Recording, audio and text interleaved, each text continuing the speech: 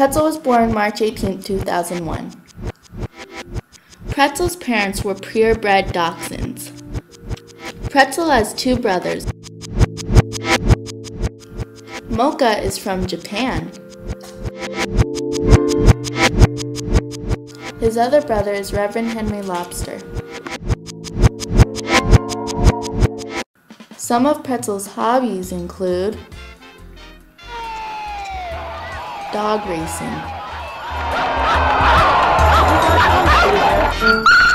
singing,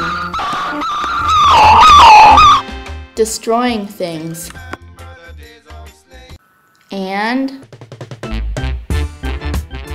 growling.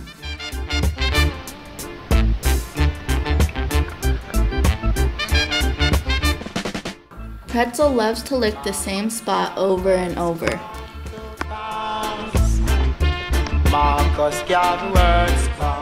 He has a twitching problem. His brothers think he's weird sometimes. But Pretzel's favorite hobby of all is being with his brothers.